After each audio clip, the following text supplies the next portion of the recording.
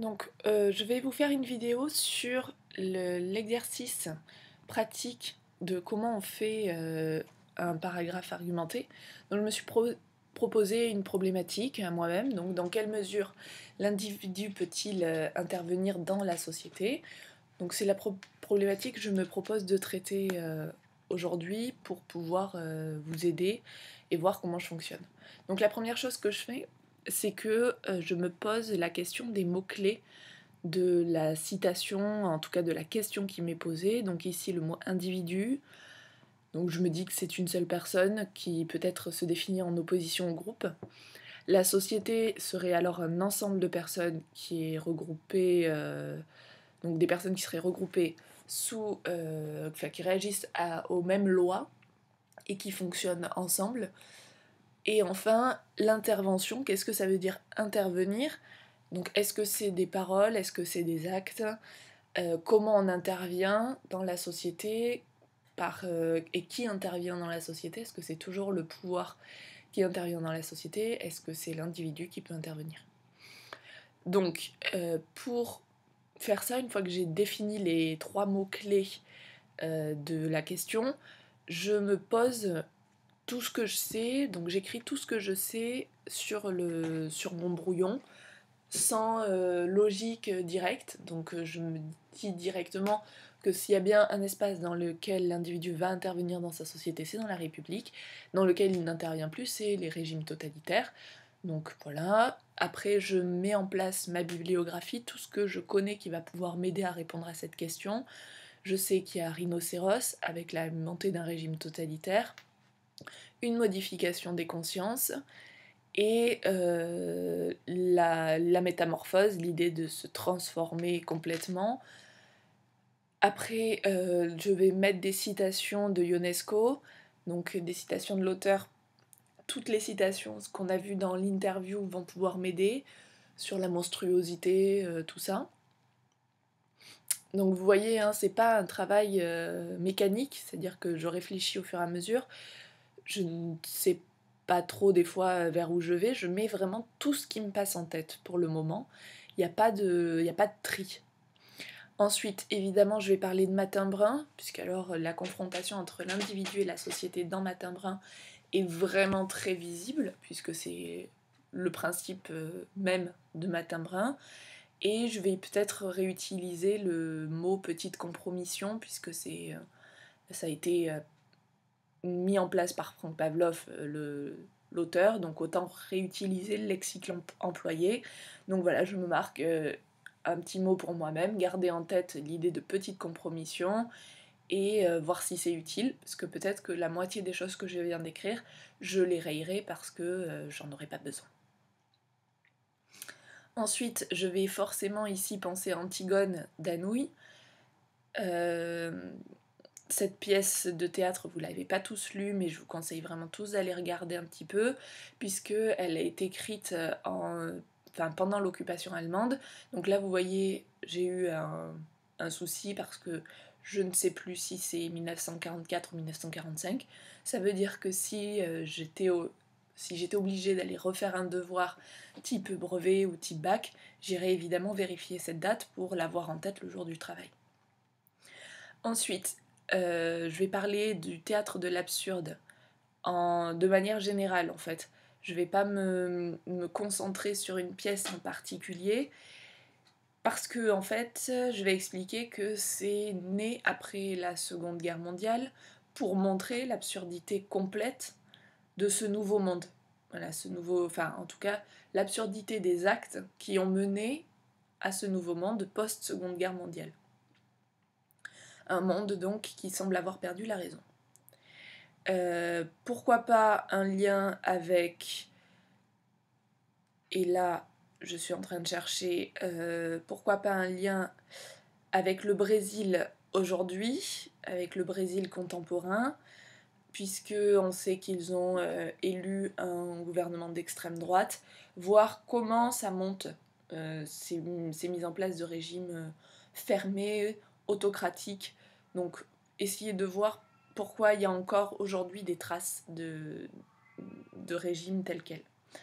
Ensuite, je vais évidemment parler du film La Vague, avec euh, l'adhésion à un mouvement de pensée unique et euh, la pensée que euh, tout le monde fait partie du même groupe. L'intérêt de, voilà, de cette pensée et la valorisation du, du groupe au dépend de la valorisation de l'individu. Et on a vu que, du coup, vu le film La Vague euh, à la fin, c'est la destruction de l'idée, de l'idéologie, du groupe. Il faut aussi que j'aille, euh, donc là c'est pour moi, hein, tout ce que j'écris là c'est vraiment en mode brouillon, donc il faut que j'aille regarder les côtés séduisants euh, du groupe, qu'est-ce qui fait qu'on peut se faire peut-être avoir par la mise en place d'un régime totalitaire, qu'est-ce qui fait que ça a quand même quelques côtés positifs, pourquoi la, pensée unique pourrait être intéressante? Et euh, évidemment en contrepartie voir les problèmes qui sont causés par cette pensée unique et voir que c'est pas possible, enfin que c'est très dangereux en tout cas d'adhérer euh, complètement à euh, ces idées-là. Donc évidemment je vais faire des liens avec les régimes totalitaires de l'histoire, donc Hitler, et euh, toute l'histoire de la Seconde Guerre mondiale en général. Ensuite, euh, donc je vais avoir en France, je vais parler de Pétain. En Italie, je vais parler de Mussolini. Et en Espagne, je vais parler de Franco.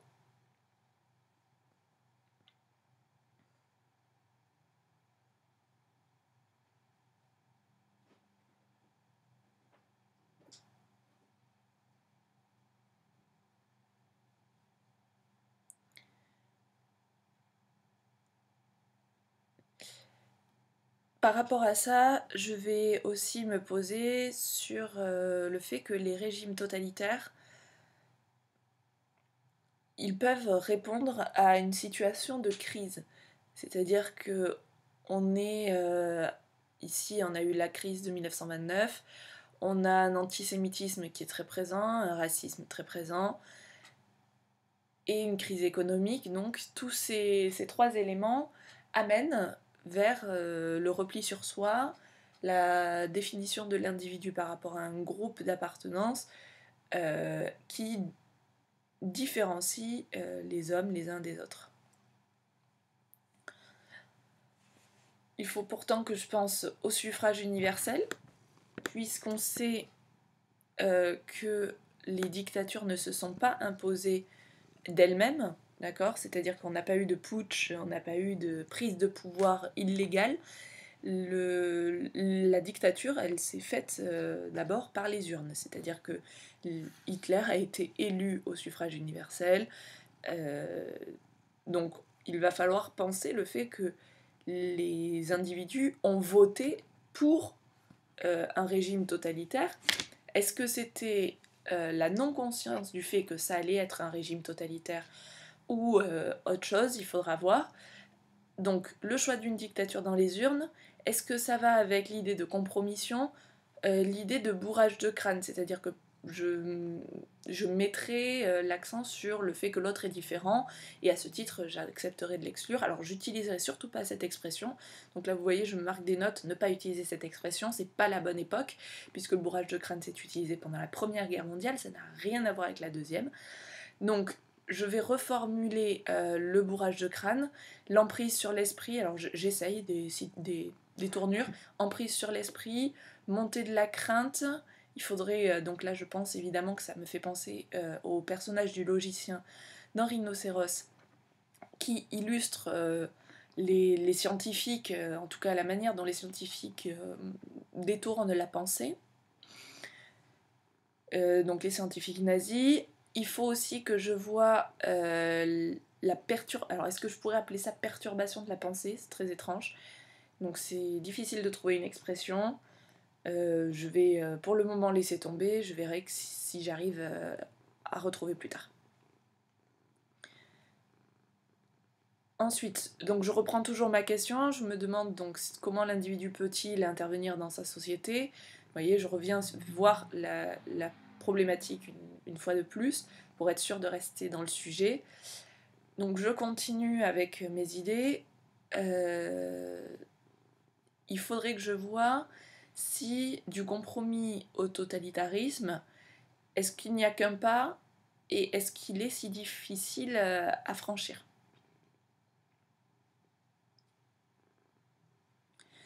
Euh, donc de cette question en est une autre. Pourquoi l'individu peut-il se faire avoir par le régime totalitaire.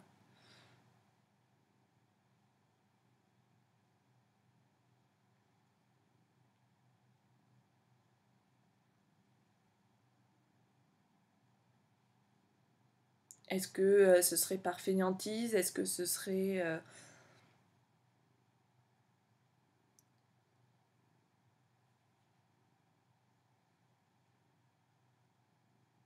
par lâcheté À voir. Donc ça, c'est des idées en, l'air, à voir si on les confirme ou si on, au contraire on les lâche, on les met de côté, on verra. Et enfin, la troisième question qui se pose euh, également, l'embrigadement des esprits. Donc là, je me rends compte qu'en fait, c'est exactement la citation, enfin le mot, l'expression que je cherchais tout à l'heure. Donc je vais parler d'embrigadement des esprits. Je suis contente de l'avoir trouvé. Voilà pourquoi je l'écris en grand. Donc plutôt que de perturbation de, la pensée, de... Euh, emprise sur l'esprit, je vais parler d'embrigadement des esprits. Ça m'évitera d'utiliser euh, le, bourrage de crâne qui n'a rien à voir.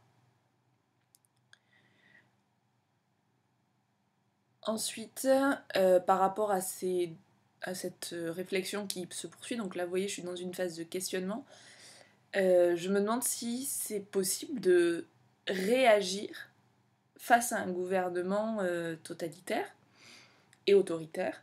Est-ce que c'est trop tard?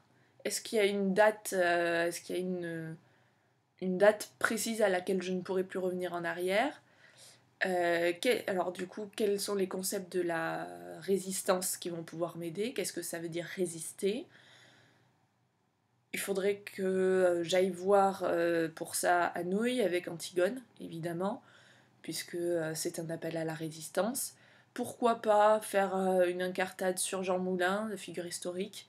Ça pourra m'aider peut-être pour une transition. À voir. Donc vous voyez, tout ce que je sais, tout ce qui m'arrive en tête, je l'écris. Comme ça, je le perds pas. Et après, j'aurai plus qu'à organiser. Je dois penser aussi à Anne Frank, je dois aussi penser à Primo Levi, à Georges Semprin, puisqu'ils sont des victimes directes d'un régime totalitaire et excluant, donc déportés des camps de concentration.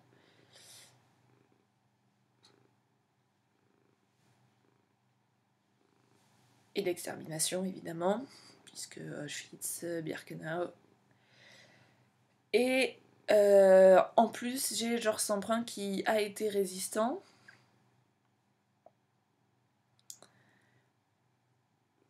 Je peux aussi peut-être penser à Pour qui sonne le glas d'Hemingway, donc pendant la guerre civile espagnole. Pourquoi pas? Parce que euh, ça peut être intéressant sur l'idée de résistance. On verra si c'est vraiment utile euh, ou pas. À voir.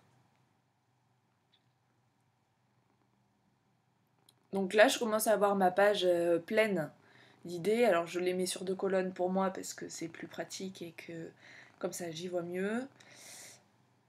Euh, et j'ai surtout, j'ai tout sous les yeux. Voilà. Comme ça, j'oublie rien. Donc maintenant, ce que je vais faire, c'est que je vais surligner euh, par couleur ce qui s'attache à chaque mot-clé. Donc individu, tout ce qui est lié à l'individu, à l'idée de l'individu je vais le mettre euh, en, vert. Ici, je pense que Rhinocéros va pouvoir m'aider sur l'individu, mais par contre, il faut que je euh, m'intéresse au personnage de Béranger si je veux parler de l'individu, puisque le personnage de Jean va parler, lui, de la société. Hein. Donc Béranger, ça sera en vert par rapport à l'individu, euh, contre Jean, ce qui sera en bleu par rapport à la société.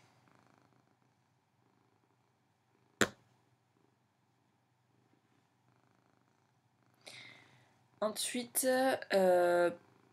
l'idée des citations de l'auteur sur la monstruosité, il me semble que c'est l'individu, évidemment opposé à sa société, mais c'est quand même le, positionnement de l'individu. D'abord. Le film La Vague, l'adhésion euh, au mouvement de pensée unique, tout ça, ça, va être par rapport à la société, comment on crée une société, comment on crée une société excluante, et pareil pour les côtés séduisants du groupe, tout ça, c'est la société. Euh, les régimes totalitaires qui répondent à une situation de crise, ça n'a rien à voir avec pour le moment mes deux axes euh, que j'ai développés. Donc pour le moment je laisse de côté, je mets une autre couleur parce que je ne sais pas encore où c'est que ça va aller. Donc le suffrage universel, le choix d'une dictature dans les urnes, tout ça c'est le c'est l'individu. Par contre, l'idée de l'embrigadement des esprits, pour le moment, je sais pas encore, donc je mets en italique, je sais pas encore où c'est que ça va aller. Les questions que je me suis posées, euh, finalement, je vois qu'elles euh, questionnent bien au fur et à mesure le, enfin, la problématique, l'individu et la société. Donc ça veut dire qu'à chaque fois, j'ai l'idée des deux qui intervient. La résistance, c'est euh, dans l'intervention, la prise de parole et les actes. Vous voyez, ça commence à se dessiner progressivement. J'ai bien trois idées, donc trois couleurs. Et Anne Frank, Primo Levi, Georges Semprin, euh, et puis pour qui sonne le glas, tout ça, ça fait passer euh, à l'action.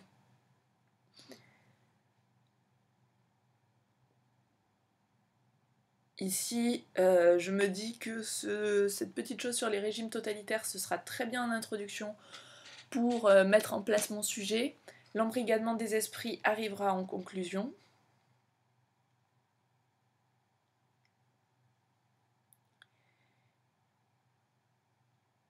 Et finalement, bah, mes trois questions, si je les regarde euh, tranquillement, bah, je me rends compte que c'est mon plan. J'ai trouvé mes trois axes. Donc du compromis au totalitarisme, est-ce qu'il n'y a qu'un seul pas qui est difficile à franchir? Pourquoi l'individu peut-il se faire avoir par la montée du totalitarisme? Que, et est-ce que réagir à, un mouvement, à un gouvernement totalitaire, est-ce que c'est possible?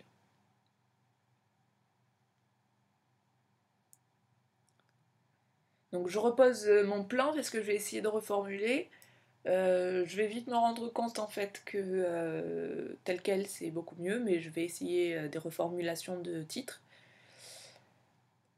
Je suis pas sûre que je vais les reformuler parce que finalement ils me plaisent bien comme ça. Donc vous voyez, c'est rayé, c'est enlevé, jusqu'à ce que je trouve quelque chose qui me plaît.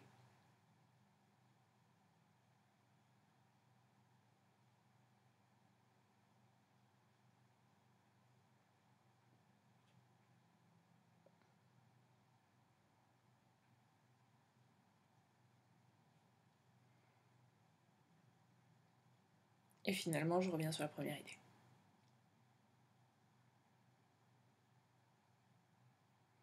Pour la deuxième, euh, je le reformule.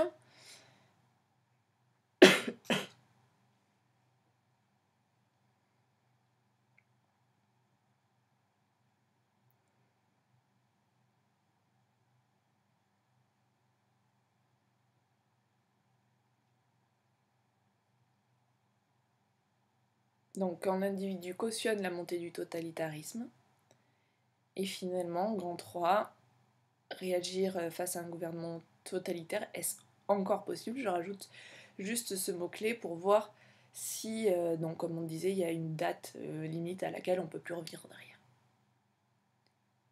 Donc par contre, je suis pas sûre que je l'utiliserai, donc je me marquais en italique et à voir, parce que il faudra vérifier que c'est possible. Donc je vais commencer à mettre en place mes arguments.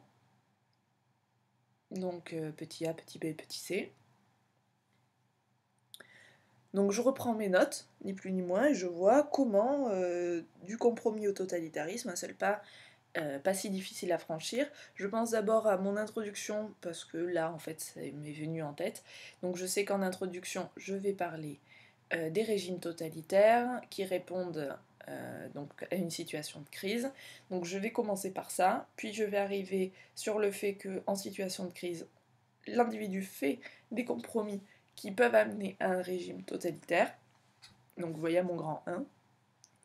Une fois que j'ai fait mon introduction, évidemment, à la, fin de mon introduction, je vais intégrer ma problématique et mon annonce de plan.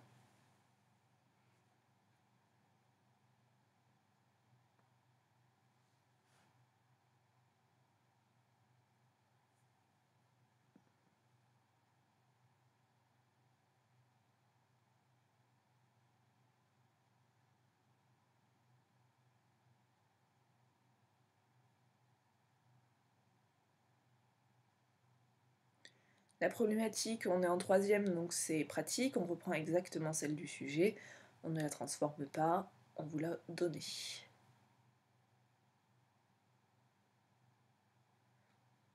Et annonce du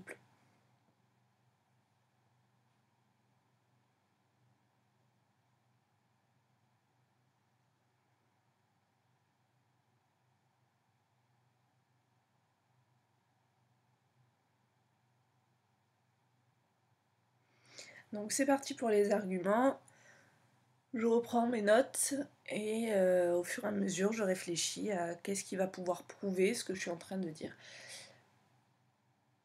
Finalement, euh, bah, j'ai pas d'argument pour le moment en tête pour le grand 1, alors bah, je commence par le grand 3. Euh, et je me dis que quand le monde n'a plus aucun, aucun sens, le théâtre de l'absurde, peut, euh, enfin prouve, donc l'absurde prouve ça. L'absurde, ce serait euh, comme un repère. Ça n'a plus aucun sens, donc euh, imager le non-sens, c'est l'absurde.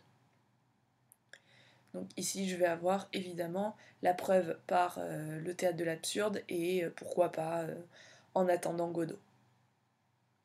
Puisque dans En attendant Godot, on va avoir le principe du sauveur qui ne vient jamais.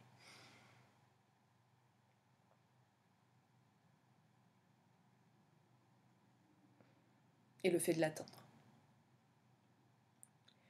Je pense pourquoi pas un deuxième exemple, je vais voir s'il est utile, je crois que je vais même pas le mettre. Euh, je pensais à rhinocéros et puis finalement je me suis rendu compte que ça prouvait autre chose que c'était pas euh, le non-sens puisque Rhinocéros s'était caché à peine, à peine déguisé pour montrer à quel point euh, c'était, euh, on avait fait n'importe quoi. Donc un absurde, donc ça me donne directement mon, mon deuxième axe, enfin mon deuxième argument, un absurde qui dénonce les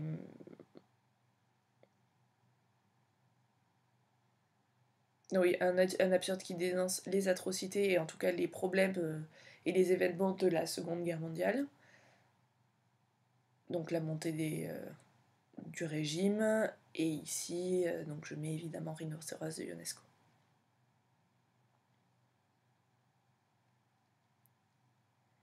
La métamorphose, qui est une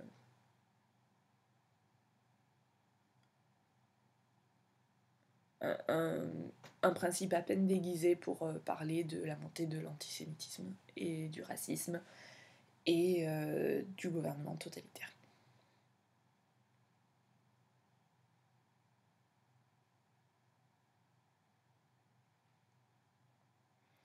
Je me dis aussi de voir euh, les phases de l'action dans Euh, dans Rhinocéros. Donc d'abord la surprise du euh, rhinocéros qui passe, ensuite l'acceptation qui devient une règle, et puis euh, finalement le choix de la différence par Béranger.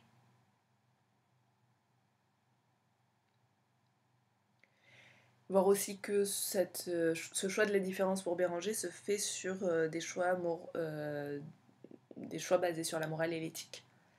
Donc j'arrive à mon troisième point, euh, le fait que euh, il y a le fait de dénoncer ce qui s'est passé et il y a le fait d'appeler à la révolte, l'appel à la résistance pendant euh, pendant l'horreur en fait. Donc ici on va avoir Antigone d'Anoï évidemment, puisque Antigone, c'est celle qui, ne, celle qui refuse de se soumettre. Et on est pendant l'occupation allemande, et Anouilh appelle très clairement à la résistance dans Antigone. Il reprend le mythe de Sophocle pour euh, expliquer qu'il euh, faut résister à l'invasion allemande. Donc je pense aussi aux citations ici euh, qu'il va falloir que je mette. Donc il faut que je retrouve des citations des œuvres.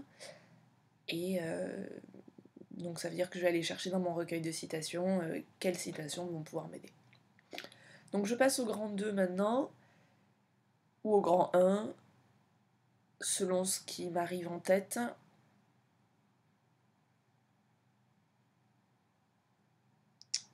Ah non, je sais comment je vais conclure, donc je pars en conclusion avec euh, l'embrigadement des esprits, c'est comme ça que je vais finir. Donc ma conclusion portera sur euh, le fait que l'embrigadement des esprits peut aboutir à la mise en place d'un euh, régime totalitaire, que l'individu du coup il accepte en quelque sorte ce régime jusqu'au moment où il se révolte et euh, le refuse complètement.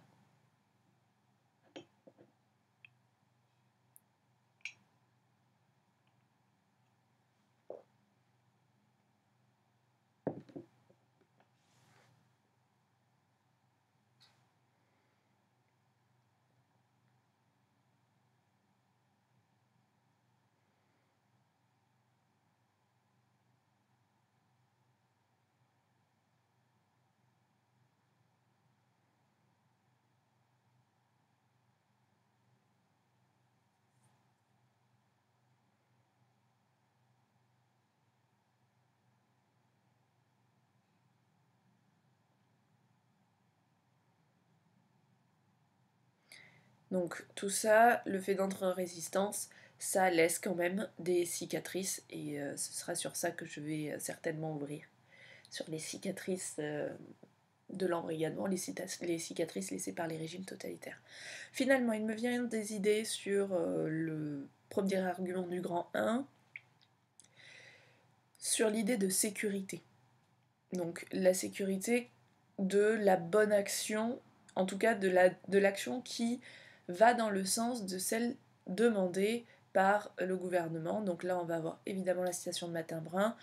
Euh, il n'avait donc euh, les deux personnages qui sont euh, se, sont extrêmement contents de faire ce qui est dans le sens du gouvernement et ce passage avec le petit garçon qui pleure son petit chien blanc, son caniche blanc, je crois, et euh, les deux personnes qui se disent que euh, finalement il aurait pu en avoir un brun qu'on en trouvait et que c'était un peu sa faute si euh, s'il en est arrivé là. Donc on va aussi avoir la même idée dans le poème que vous avez dans le, dans le Devoir 2. Donc je n'étais pas juif donc je n'ai rien dit. ils sont venus chercher les juifs, je n'étais pas juif alors je n'ai rien dit. Et finalement ils sont venus me chercher. on connaît la fin. Donc la sécurité de la bonne action, avec euh, Matin Brun et euh, le poème. Le fait ensuite d'accepter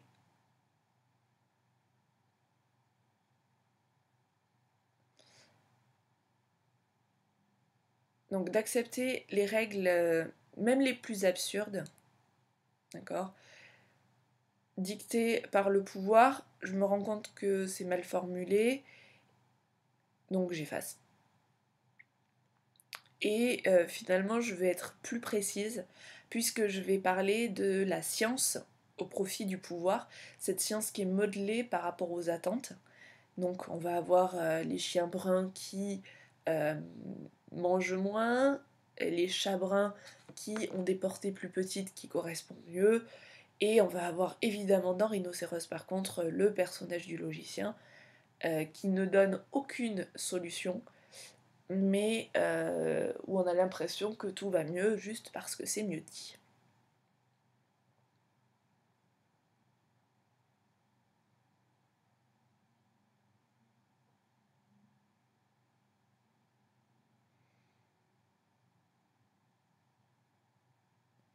Donc il fait semblant que euh, voir passer un rhinocéros, c'est plus normal, juste avec des syllogismes.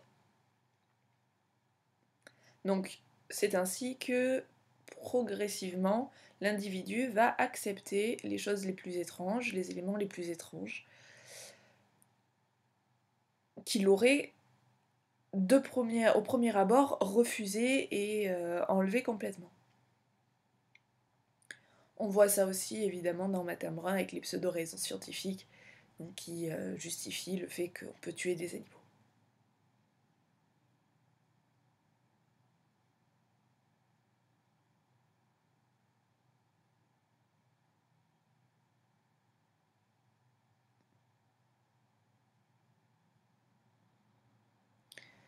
Donc, troisième argument.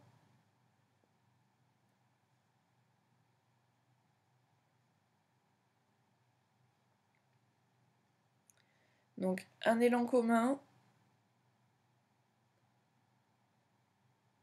Le fait que euh, un élan commun vers le groupe, donc la joie de n'être pas différent, il faudra alors que je développe sur euh, ce qu'on avait, euh, toutes nos réflexions sur l'intrus, l'exclu et l'inclus. Comment j'accepte de faire partie du groupe, comment je veux appartenir au groupe, et cette difficulté à être différent et donc à ne pas en faire partie. Évidemment, je vais parler de cette citation sur la mode que vous avez dans votre fiche de révision du devoir 1, euh, citation euh, écrite par euh, Ionesco,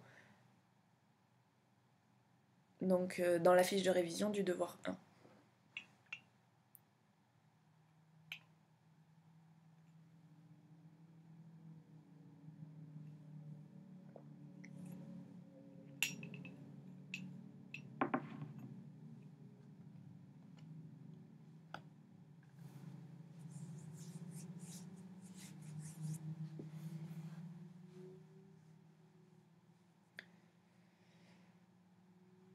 Donc il me reste que euh, mon grand 2, la fainéantise, la lâcheté. Pour le moment, je les enlève, je les colle dans mes réflexions. J'en ai pas besoin, je vais vérifier ça avec mon argumentation si j'arrive sur les mêmes points. Mais pour le moment, je ne les considère pas comme arguments.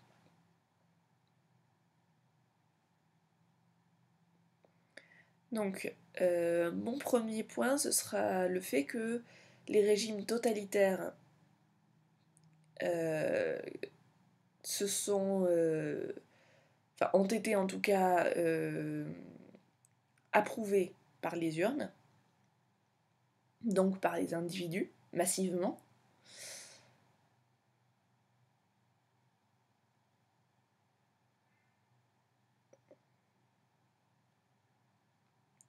Ici, je vais retrouver l'interview de euh, de Ionesco qui parle de rhinocéros le moment où il parle de la monstruosité. C'est moi le monstre peut-être. Donc on, retient euh, bien cette citation parce qu'elle est très pratique.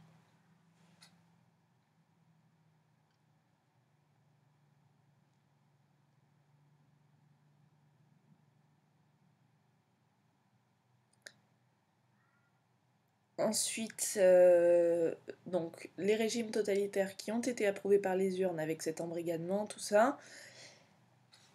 L'interview. Donc il faut que j'explique, il faut que je prouve que l'individu cautionne la montée du totalitarisme. Donc l'absence de réaction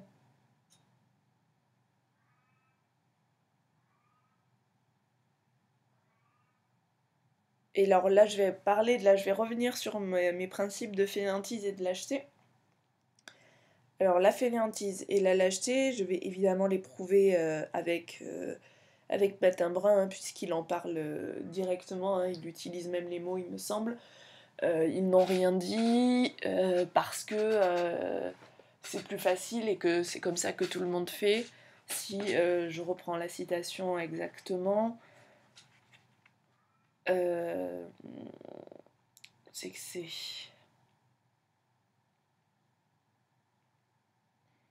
ça va si vite, il y a le boulot, les, soucis de tous les jours, les autres aussi baissent les bras pour être un peu tranquille, non? Donc euh, le fait d'accepter comme ça... Euh,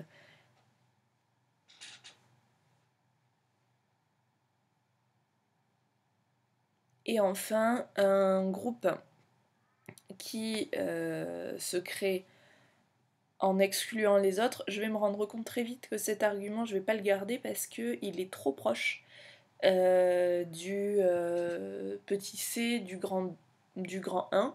Donc finalement, je vais euh, réunir les deux arguments dans le grand 1 et je vais devoir trouver encore un nouvel argument puisque on est beaucoup trop proche, ce serait une redite. Donc je ne peux pas le garder. Uburois, j'y l'ai envisagé dans cet argument, mais parce que je ne me rappelais plus de la date. donc je me marque que je ne suis pas certaine du tout il me semblait bien que c'était avant, bien avant la Seconde Guerre mondiale, et en effet c'était bien avant la Seconde Guerre mondiale, donc euh, pas, euh, utilisable du tout, puisque je ne suis pas du tout en train d'expliquer euh, ça et que c'est pas, pas, ce peut pas être un argument pour prouver ce que je veux prouver.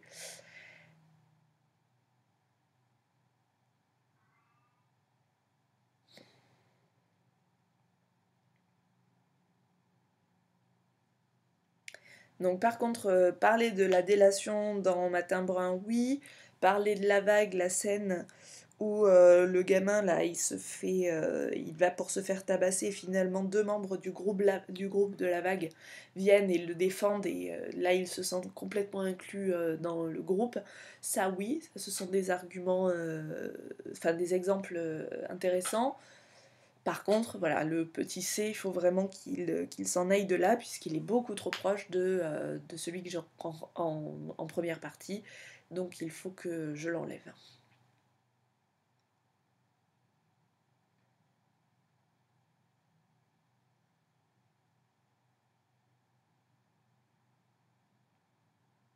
Donc là, vous voyez, je suis en train de réfléchir. Je vérifie Uburois. Euh, je me dis non. Euh, c'est pas utilisable parce que donc euh, complètement anachronique. Donc Uburois c'est antérieur, j'utilise pas, donc HS. Et là je me censure, je. Je ne l'utiliserai pas. Donc n'hésitez pas à refuser des idées. Il y en a que je ne vais pas utiliser. République euh, contre régime totalitaire, je me rends compte que c'est bon. Donc là, je fais un, check des idées. En même temps, je réfléchis. Pour le moment, j'ai pas encore sorti. Euh, pour le moment, j'ai pas encore sorti mon idée euh, du grand C parce que bah, je suis en train de réfléchir à comment je vais pouvoir tourner ça. Donc c'est pour ça que je refouille dans les idées que j'ai eues pour savoir comment je vais pouvoir m'en sortir. donc ça, j'en ai parlé. Tout ce que je mets en jaune, j'en ai parlé. Et donc là, euh, ça me tracasse beaucoup trop.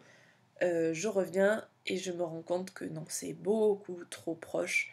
Et il faut vraiment que je le sorte euh, de là. Donc le petit c disparaît au profit d'un autre petit c. Donc je me dis qu'il faut que je le retravaille. Pour le moment, j'avoue là, à ce moment-là, j'ai aucune idée. Je ne sais pas encore ce que je vais écrire. Je ne sais pas quel sera mon argument. Par contre, j'enlève celui-là. Et je le recolle avec le premier. On ne sait jamais, ça donnera plus d'idées.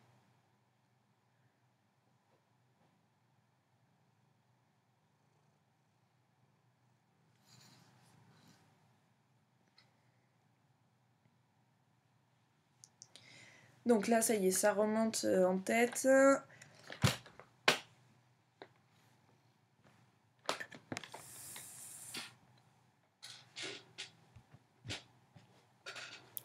Donc euh, mon troisième argument euh, dans le grand 2, alors vous voyez, hein, c'est difficile, là j'ai du mal à le trouver. Est-ce que je parle du point de vue de l'individu? Est-ce que je parle euh, du point de vue de la société? Pour le moment, je sais pas trop. Est-ce que je parle de l'embrigadement des consciences? Est-ce que ça va pas me faire retomber encore sur ce que j'ai déjà dit? Donc l'embrigadement des consciences ou quand le mal est fait. Donc je vais parler finalement de ce qui se passe après c'est trop tard.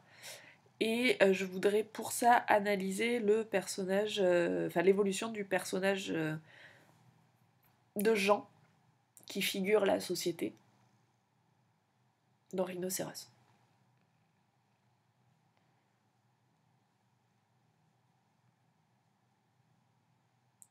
Je peux aussi analyser euh, le perso du gamin dans euh, La Vague, qui se suicide à la fin.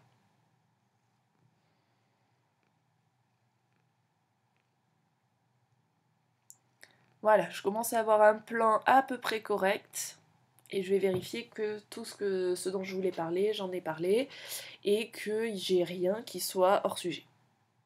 Donc euh, Béranger Jean, c'est bon, la citation sur la monstruosité, c'est bon, la mise en place d'un régime totalitaire à cause des compromissions, c'est bon, Antigone pendant l'occupation allemande, c'est bon, le théâtre de l'absurde, c'est bon,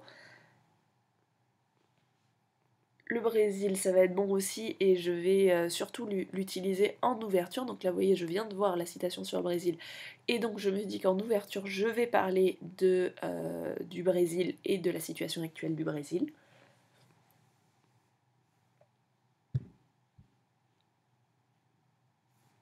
Comme ça, je prouve euh, ma connaissance. Donc finalement, je peux le surligner, c'est fait. Ensuite, dans le film La Vague, l'adhésion à un mouvement de pensée unique, l'intérêt de la pensée unique, la valorisation du groupe jusqu'à sa destruction, c'est bon. Les côtés séduisants du groupe unis sous une seule et même pensée, c'est bon. Les problèmes causés par la, par la pensée unique, c'est bon. Les liens avec l'histoire, c'est fait.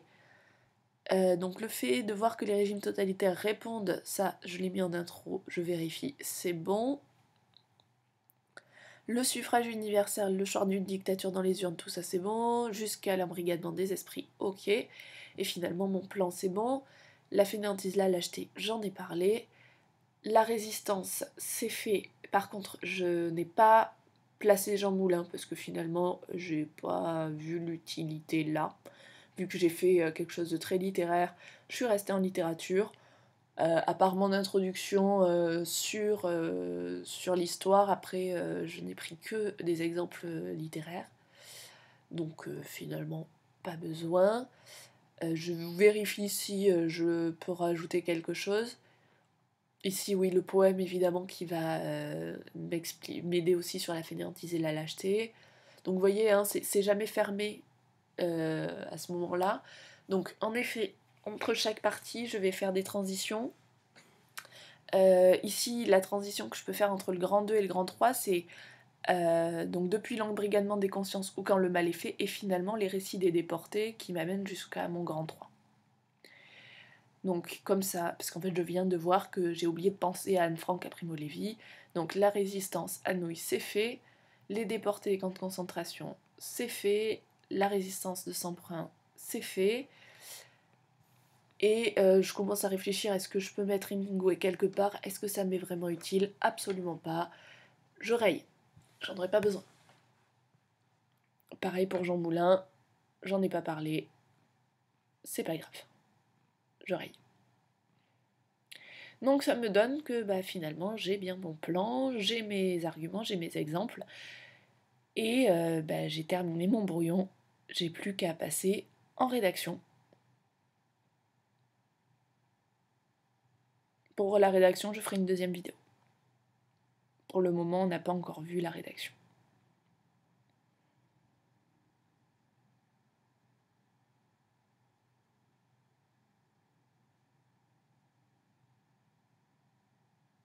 Je rajoute ma dernière transition, ce qui me manquait la transition entre le grand 1 et le grand 2. Donc entre le grand 1 et le grand 2, je vais euh, que je vois ce qui est logique. Donc les langues communs, j'en suis à l'intrusion, l'exclusion. Donc l'envie d'appartenir au groupe.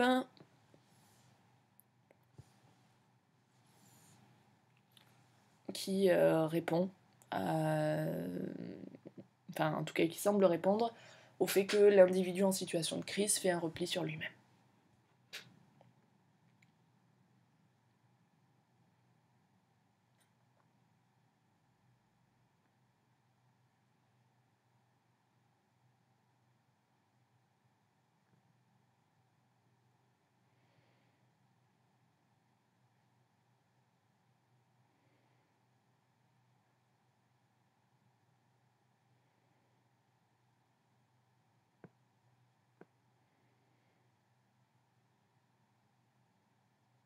Mais euh, se replier sur soi-même, ça exclut les autres, forcément.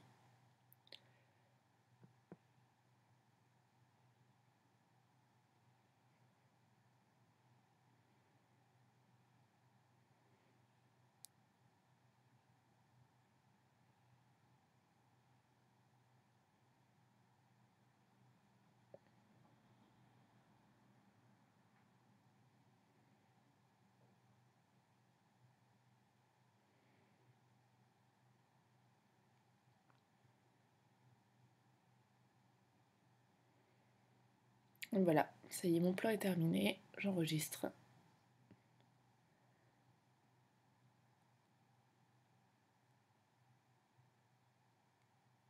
Et c'est la fin de la vidéo.